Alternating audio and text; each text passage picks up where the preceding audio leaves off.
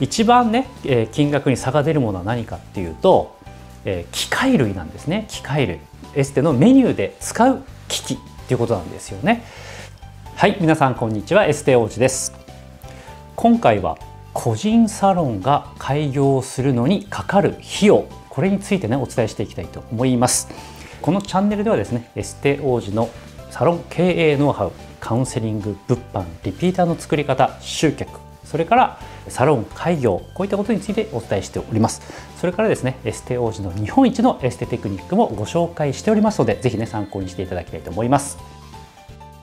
はいということでですね個人の方がえまあ、お一人でですねサロンを開業されるっていうケースがですね最近やっぱ多いわけですよね。で、まあ、これなぜかっていうと、まあ、今回お伝えしていく、まあ、費用の問題もあるんですけれどもそれ以外にも例えば国家資格ではないっていうのもあったりするわけですよね。なので技術を覚えていただければ特にね、えー、資格っていうのが必要ないというような、まあ、いわゆる業界だという話なんですね。なので、まあ、ある意味こう参入しやすいっていう意味で言うとすごくね、えー、いい業界なのかなと思います。まあ、逆にですね、えー、その資格が必要ないっていう部分がありますのでレベルのね高い人からレベルの低い人まで、まあ、いるっていう業界であることは、まあ、正直ね間違いはないというふうに思っております。ということで、まあ、今回ねそのかかる費用ということについてねお伝えしていくんですけれどもまずはですね、まあ、個人の方がねサロンをね開業されるってなってくると、まあ、大きくですね2つのパターンに分かれます。一つはですねご自宅でサロンをやられるご自宅の一部屋を使ってサロンをやっていくっていうパターンと、まあ、小さなねワンルームのマンションだとか 1LDK1DK みたいなまあ、ちょっと小さめのね、えー、マンションとかアパートを借りて、えー、開業するっていうパターン、まあ、これを2つがね多いんじゃないかなと思います。例えば路面店でですねお店をドカーンとやっていくとなるともう最初からねスタッフを採用するみたいなケースもありますけれども、まあ、今多いのはですねご自宅での開業それからワンルームマンションとかアパートで開業していくこういうパターンがね非常に多いかなというふうに思います。はい、おそらくねこの YouTube 見られてる方も、まあ、そういうふうに開業していきたいなっていうふうな方がね多いんじゃないかなと思います。はい、ではですねじゃあ開業するにあたってどれぐらいの費用がかかってくるのかっていうのがねおそらくね気になってることだと思います。えっ、とこれもですね正直ですね、えピンキリとあのっていうのがあるわけですよね。でこれなぜそういうことになるかっていうと例えばですねどんなメニューにしたいのかによってだいぶね価格っていうのは変わってきます。例えばエステベッドとかですねタオルとか備品関係っていうのは言うほどですね大きく差はないんですよね。ただ一番ね金額に差が出るものは何かっていうとえ機械類なんですね機械類エステのメニューで使う機器っていうことなんですよね。で例えば、えー、30万円のエステの機械があったりだとかはたまた高いのだと400万500万するような機械もあったりするんですね。それによって大きくですね初期費用っていうのは変わってきます。ただまあ一般的に多いのはですね例えばオールハンドでやっていくってなってくるとこのエステの機器はいらないということですね。例えばアロマのオールハンドのトリートメントをメインにしています、まあ、フェイシャルなんかもハンドにこだわっています。とかってやっていくと実はですねこのエステの機械っていうのは最初のオープン当初には必要ないっていうことになってくるので、えー、初期導入費とかって考えると、えー、ここはねすごく抑えられるとただ例えば脱毛をね、えー、やりたいとかそれから機械にこだわった送信をやっていきたいとかってなってくるとやはりですね100万円ぐらいはするような機械っていうのが圧倒的に多いと、まあ、100万円から200万円ぐらいがね多いんじゃないかなとは思いますなので最低限それぐらいは見ないといけないよということなんですよね。まあ、ベッドなんかもね先ほどもお話しましたけれども例えば2万円のベッドもあれば自動でねこう上下できるような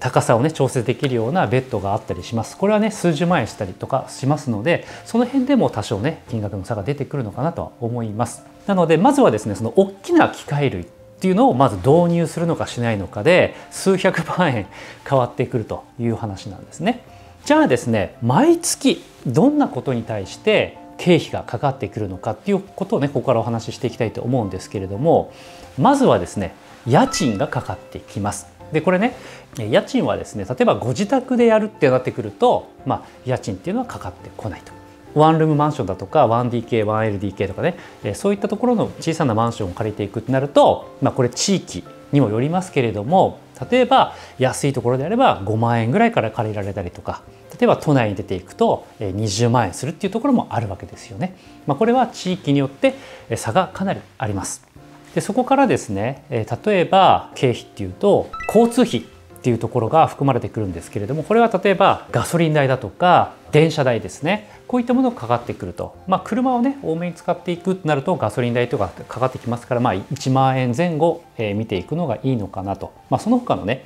車にかかってくる車検だとかでまた別問題で考えてください。でそれからですね光熱費これ電気ガス水道、ね、こういったところなんですけれどもこれもですね、まあ、サロンの本当にですね使い方にもよりますけれども、まあ、2万円前後なのかなと思いますね例えばこうシャワーをねたくさん使うとかってなってくるとやはりねもう少し水道代が上がってくるとかまあいろいろありますでそれからですね通信費これ携帯代から w i f i それからホームページの管理費なんかもこの辺に含まれてくるのかなとでそうすると、まあ、3万円とかそれから高ければ5万円ぐらいになるのかなというふうに思いますね。えそしてですね、まあ、事務費ですね。事務用品例えばコピー代だとかそれからですねボールペンからはがきだとか、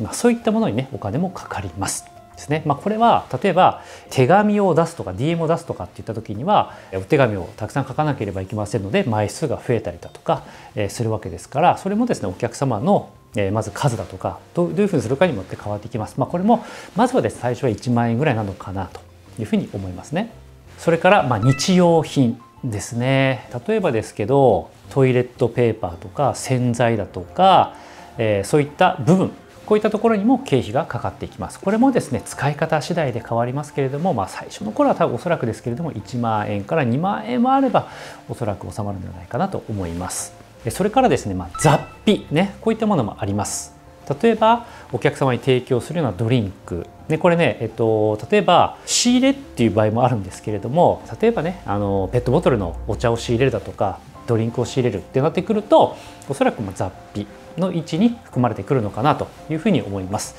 それからですねお菓子なんかもそうですね。お客様にお出しするようなお菓子こういったものもま雑費の中に含まれていくと。でこれもおそらくね1万円は最初はしないんじゃないかなというふうに思いますね。でそれからですねサロンでの仕入れになります例えばボディのマッサージをされるのであればオイルを仕入れなければいけないとかでフェイシャルをやるのであれば化粧品を仕入れなければいけないっていうことになるんですね。でこれ最初は多分ねあの物販商品っていうのがなければお客様に、えー、販売する商品がなければ業務用の、えー、化粧品だとか、まあ、オイルだとかっていうのを仕入れるということなんですね。でこれもどれぐらいの数のお客様を施術されるのかにもよって変わってきますし仕入れもですね1個からできるメーカーと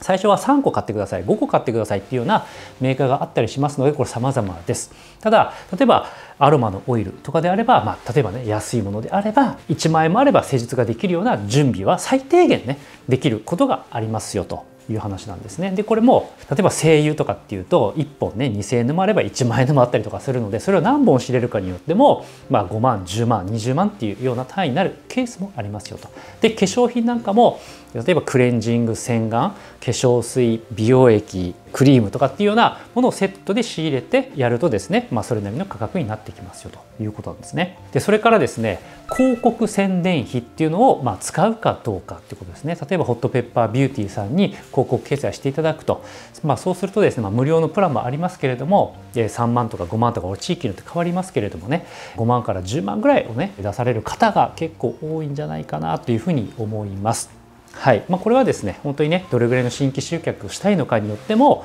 価格っていうのはね、え決められます、まあ、無料の部分もありますし高ければ50万とかっていうのもありますので、まあ、それはですね、まあ、そのサロンの考え方になります。はいということでですね、えー、まあ初期の導入費用と、えー、まあラーニングコストですね。どういったものにどれぐらい一体かかるのかっていうのをねお話をさせていただきましたけれども今回お伝えするのはあくまでもね目安です。お客様の数ねこれによって全く金額が変わったりしますのであくまでも今回の動画はま目安としてね見ていただけるといいのかなというふうに思います。ということで、えー、今回の動画いかがでしたでしょうか。ね少しねためになったなというふうに思われましたら是非高評価お願いいたします。それからですねこの動画に対する感想だったり質問、ね、こういったものがあればぜひコメント欄にお願いいたします。そしてですねこれからねまたね YouTube アップしていきたいというふうに思っておりますのでまだねチャンネル登録を、えしてないという方はぜひチャンネル登録をお願いいたします。ということでまたお会いしましょう。